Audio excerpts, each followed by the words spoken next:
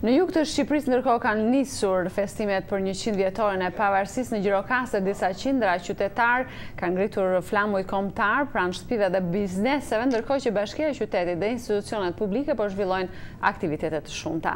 Figura historike të Shqipërisë dhe qytetit janë paraqitur në një ekspozitë piktorëve të njohur shqiptarë. Korrespondenti Raimond Kola ka përgatitur kronikën.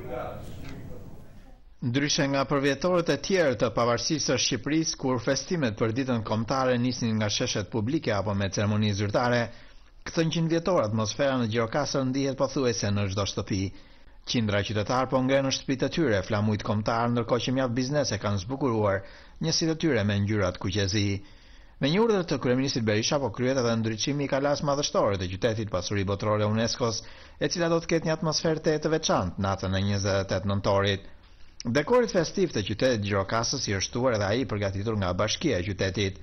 Ndërkohë aktivitete të shumta nisën nga institucionet shtetërore dhe ato vendore për njëqind vjetorin e Pavarësisë.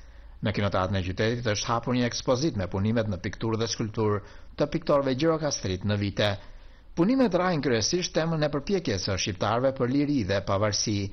Figura historike të qytetit dhe të kombit shqiptar, por edhe motive kombëtare dhe qytetare, paraqiten në këtë ekspozitë e cila do të përcillet nga të rinjtë dhe fëmijët gjatë këtyre ditëve.